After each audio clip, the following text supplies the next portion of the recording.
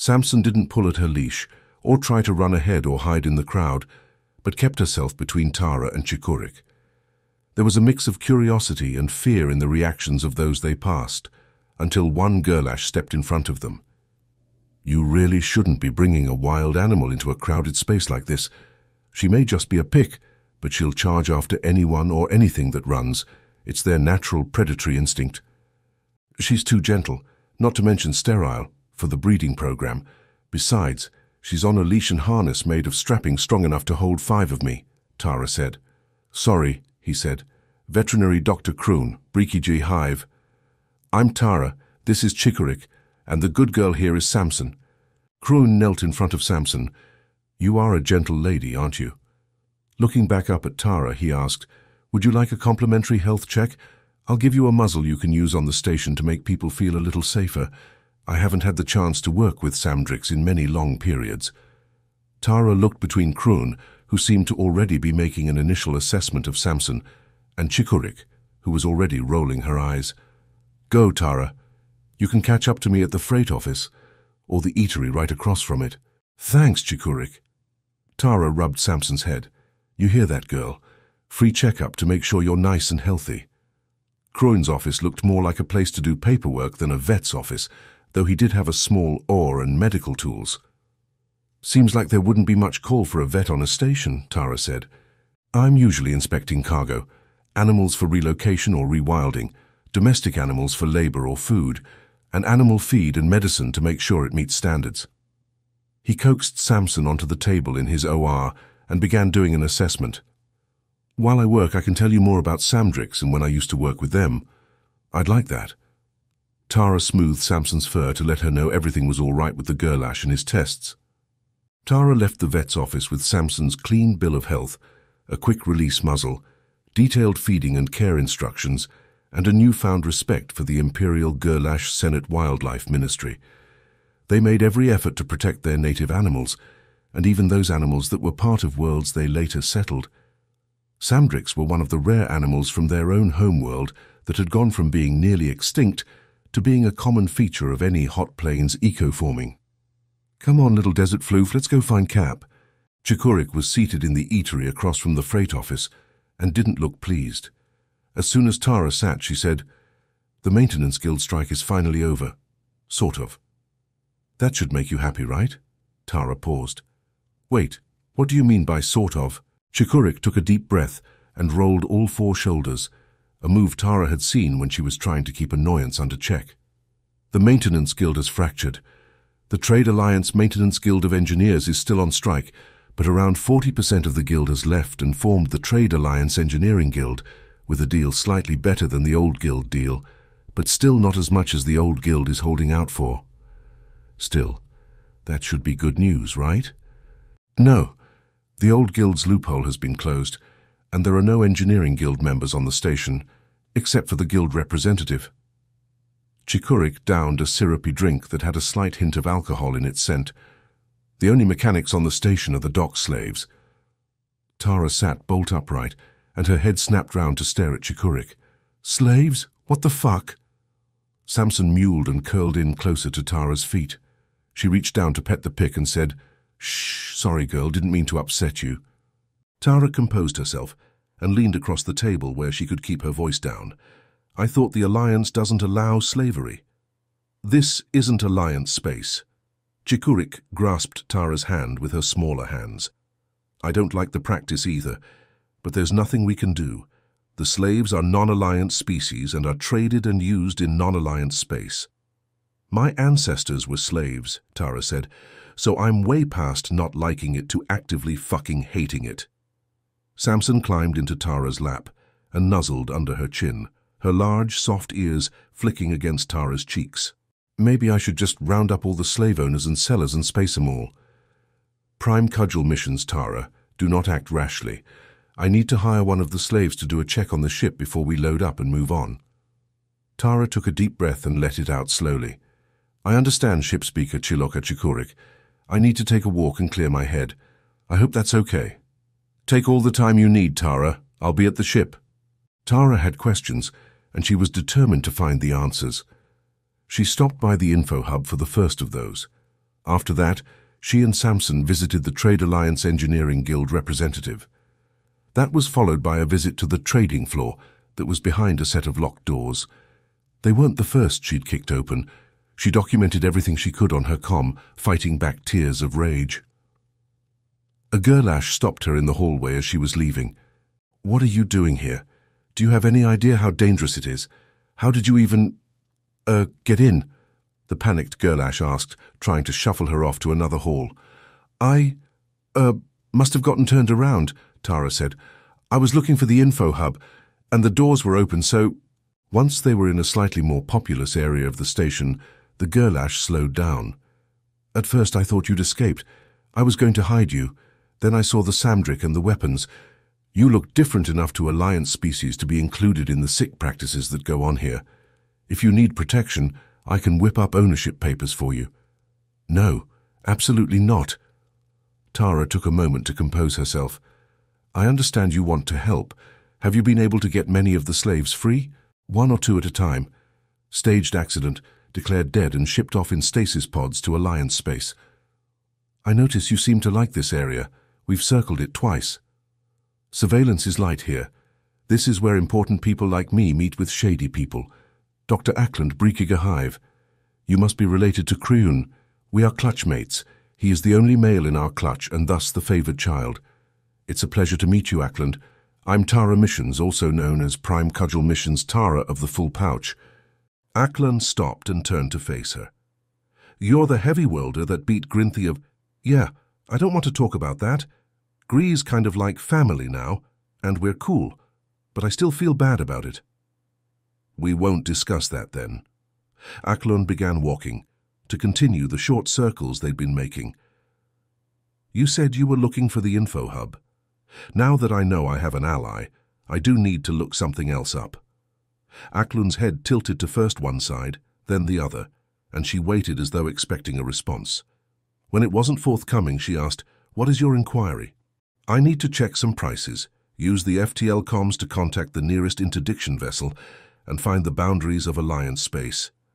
If what I'm thinking works, all the slave mechanics can be free and Alliance citizens in a very short time, if not all of the slaves here. Let's go to the info hub, Ackland said, and you can tell me more about your plan. Ackland had been called back to the medical center. Tara and Samson left the info hub and walked toward the food carts.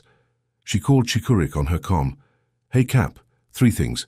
First, I'm calm and I'm not doing anything rash and reckless. Second, I need 2,721 of those credit chits. Set 600 aside in the common room and send the rest to the slave rental office. Third and finally, the guild rep and all 17 of the maintenance slaves will be using the common room for a couple hours. Chikurik stammered for a moment. What are you... I trusted you when you threw me in the pit, right? It's your turn to trust me. The slaves from several different species piled onto the ship and the engineering guild representative, an Illyrian woman followed them in, carrying an armload of tablets. She closed the doors to the common room and left a nervous Chikurik pacing outside. Tara walked to her and grabbed one of her large hands. Come on, Cap. Let's go wait outside.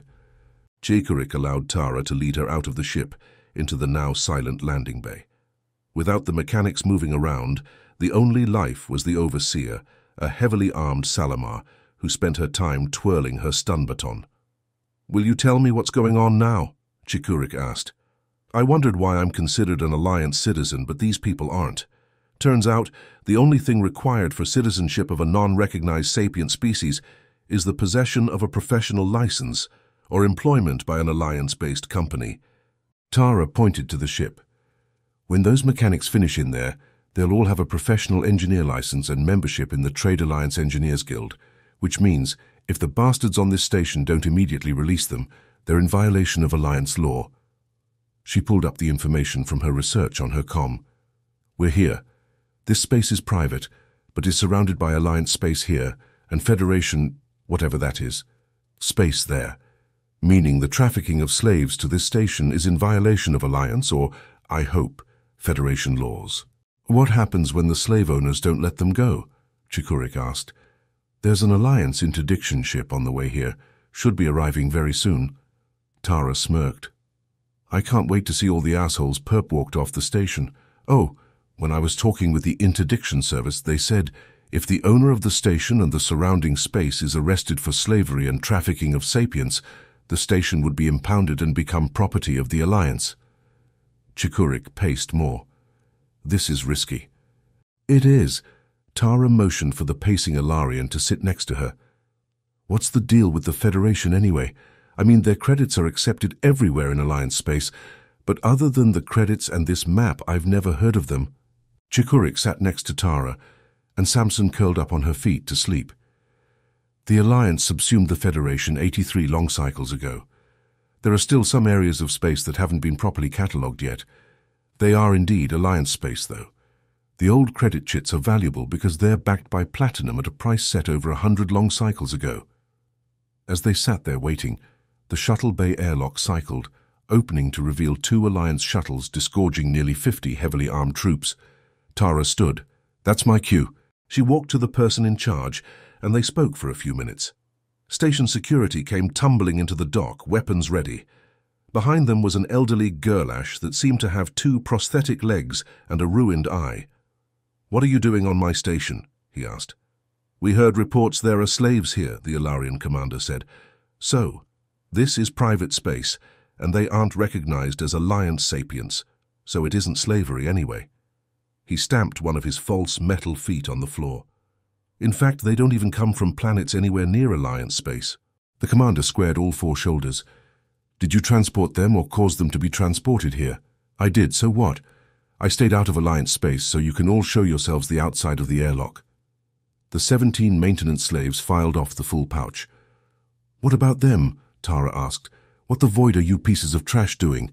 Get back to work before I put you in the box. Three of the Alliance troops walked over to the line of creatures and began scanning them, while the commander continued the conversation with the station owner. Who are they, and what is the box? They are my property, and the box is where they go to get their attitude adjusted. One of the three scanning them looked back at the commander and nodded. The commander raised one of his large hands, and all the troops raised their weapons and pointed them at the station security. You're under arrest for the crimes of slavery, of transporting recognized sapients against their will, kidnapping, and I'm sure we'll find plenty more as we go. This station is now under impound by the Alliance. I've never entered Alliance space in my whole life. You've got no right to arrest me here in my own privately owned space. That's where you're wrong. Just because the strip of Federation space hasn't been updated in the maps doesn't make it any less Alliance space. And you claim ownership of these. He pointed at the mechanics, 17 Alliance citizens and members of the Trader Alliance Engineering Guild. Tara walked toward the station security surrounding the old Gerlash. Hey, I think you should probably put down your weapons and let the authorities take old Peglegs here away. It would be safer for you. One of the station security pointed a weapon at her until another said, That's that heavy welder, the new pit champion. They say our weapons can't even hurt her. The security guards seemed to think for a moment before they lowered their weapons and moved behind the old Gerlash, cutting off his exit. The troops bound him and locked him in a cell on one of the shuttles before they began to move through the station to catalogue everything. Tara called the commander over. Listen, there are other slaves here as well, including ones that maybe can't get a professional license. Labourers, cleaners, pleasure slaves, she said with a shudder. Is there something you could do? The commander studied her for a moment. Honourable Grinty of Earlish was right about you, Prime Cudgel Missions Tara. You do care about others in a way that few can. Maybe if they were hired by an alliance company? Excellent idea. The commander keyed his com. All interdiction troops on station. Any enslaved sapient you find on the station is hereby hired immediately by the Alliance Interdiction Corps with immediate citizen rights. The station will need them to stay operational, at least until we can get them home and bring in replacements. Tears pooled in Tara's eyes. Thanks. If you don't broadcast the station's takedown, you might be able to catch some of the slavers in the surrounding space. They seem to think anything labeled Federation space is safe. It will be a good hunt, Tara chuckled. By the way, you said you talked to Gree. How is she? She's healing fine. Her ship will be backing us up in a half rotation. They'll probably get first run at hunting the slavers. She'll be pleased to know you did this. Chikurik stood, waking Samson, and put a large arm around Tara's shoulders. I'm pleased she did this. I didn't think it was possible. Tara leaned against Chikurik as Samson whined for attention. She rubbed the Samdrik between the ears and said, I didn't think so either, but I would have hated myself for not trying.